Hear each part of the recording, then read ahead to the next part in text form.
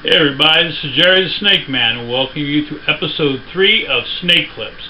Today we're going to do cobras. We have three different cobras for you today. We have a monocle cobra, we have an albino monocle cobra, and we have a spitting cobra which I call double trouble. Stay tuned.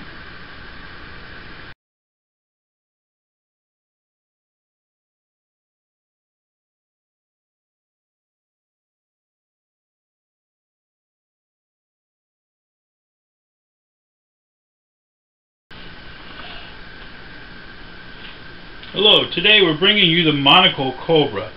This is a monocle cobra. It's from India. These are what is referred to as the snake charmers cobras. These are the cobras you see most of the time when snake charmers would be charming the snakes. As you can hear his loud hiss, here he is flaring up a little bit for us. He's just trying to escape right now. Monocle cobras are identified by the monocle marking that's on the back of their neck. These markings appear to be an eye. When the snake is threatened, he will raise the front part of his body up. He will display this monocle marking, and he will show us, as he did right here, he will show us the back of his neck. In this way, he will look intimidating, and he will think he's a larger animal, and the other prey will leave him alone. When this uh, snake grows up, he can be of a length of 5 to 7 feet. He has a lifespan, he has a lifespan of living for 30 years. He has a preferred diet of rats and mice and other small rodents. And in addition to the rodents, the cobra also eat birds, amphibians, and other prey. He also will eat snakes occasionally. When he flicks his tongue out, he picks up the scent of his prey and he pulls it back in his mouth across the Jacobson organ, and that Jacobson organ tells him what that part scent particles are that are on his tongue. This cobra hunts at dawn and dusk mostly, and it strikes at a speed that the prey does not have time to escape. Then the venom is released from his fangs. Instead of one quick strike like you'll see most rattlesnakes do, or other vipers, cobras tend to bite and hang on and chew on their prey, injecting venom over and over again until the prey um, stops moving and he has a fatal reaction. As you can hear, he's doing a lot of hissing here. Hopefully you can hear that over my talking. Um, this cobra has few predators. The only predators he really has is the mongoose because the mongoose is quick enough to jump in, strike in, grab the cobra by his throat before the cobra has time to strike him. The other predators that this uh, mon monocle cobra has are um, other snakes and people. Humans are the biggest predator of the snake. When this snake is within what we call a human community, there's a lot of rodents in there, so the snakes will go into that community. But when they do, people usually will kill them on sight because they are a very deadly snake. One bite is capable of killing a human if no anti-venom is available. So they will kill them on sight, but yet they do respect the snake, knowing that when this snake is out in the wild, out in the grasslands, out in the wetlands, the rice paddies, and whatever, that this snake is a very valuable part of their community as a rodent control. So even though he's a very venomous snake, he also is a very valuable snake to that community.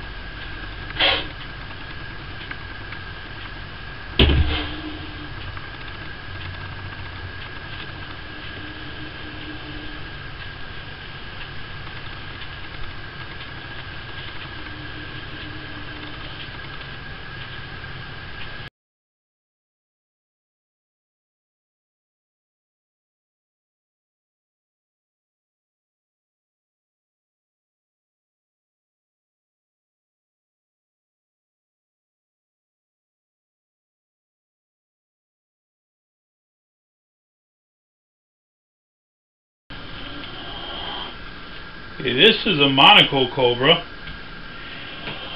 And we have the monocle cobra right now under a basket.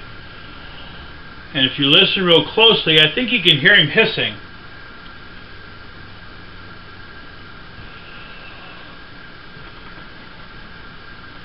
Now when I pick this basket up very quickly, hopefully what's going to happen is he is going to flare up because the light is going to hit him. He's going to come out of here being very protective. Let's see what happens. Nope. It's not going to flare up for us, unfortunately.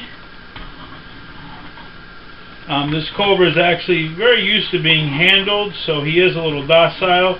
But as you can see, he's a beautiful cobra. His colorations are basically missing. He's only um, has his little pink and his a little bit of red. He's got his eyes are, are red, which is the pigmentation behind him, so that's why you really can't see any color in his eyes.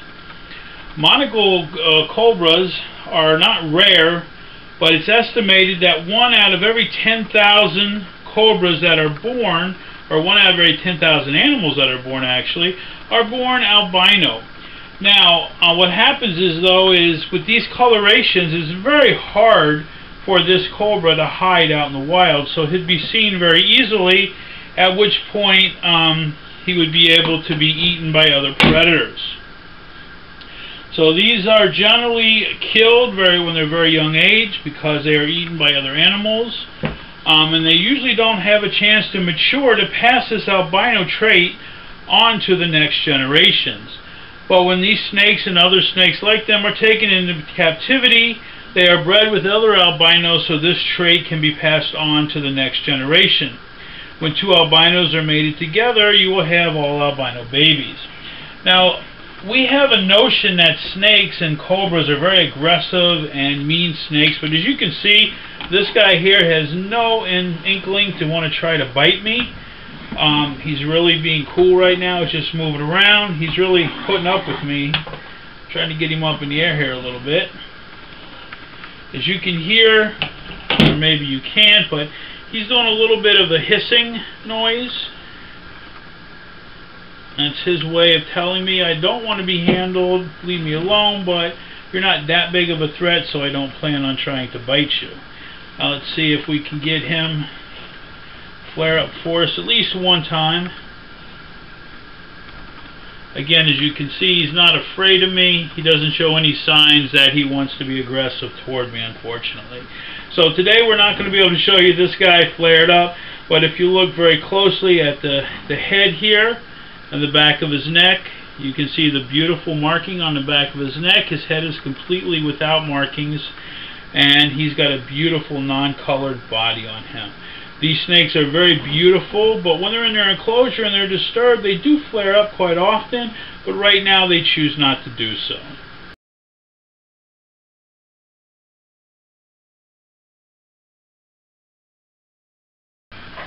Okay, hopefully you can hear me. I'm wearing a face shield right now because the next cobra we have up is a spitting cobra.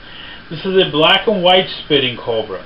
Now we're going to try one more time to use the basket idea um, in order to see if we can get him to flare up right away. Um, normally when a snake is in total darkness um, and you lift the darkness and light shines in on them very quickly, it causes them to become defensive and flare up. Hopefully that's what's going to happen now, but we can't guarantee it. As you saw before with the albino cobra, when we lifted up the, the basket very quickly, the snake was apparently sleeping. So hopefully this time that's not going to happen. This is again a black and white spitting cobra. And again, the basket idea didn't work too much. He did flare up a little bit for us, which is pretty cool. See if we can get him to do it a little more. Again, this is a spitting cobra, so I am wearing a face shield right now. And he's looking for a way to get out. These cobras are also known as Indo-Chinese cobras and Thai cobras. They're from Southeast Asia. Um, they range in habitats including lowlands, plains, woodlands. Um, they also come from jungle habitats, and these snakes too are attracted to human communities due to the fact is that there is uh, an abundance of rats normally associated with human communities when with the trash and everything. This is a medium-sized snake who only get about 3 to 5 feet in length. He has a black and white body, as you can see. The snake is primarily a nocturnal snake.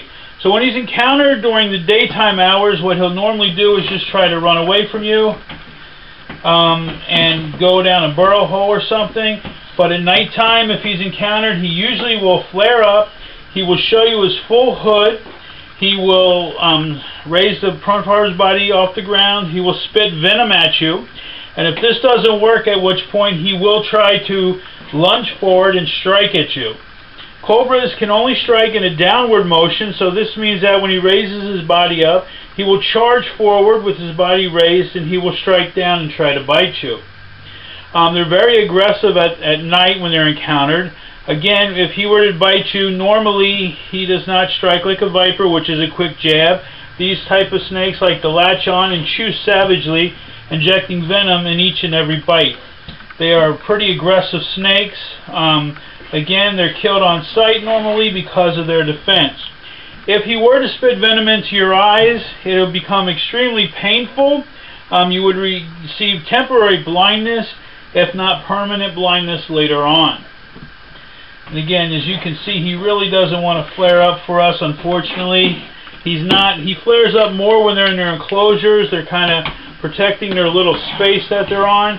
Right now, he's just looking for a way to get away from me.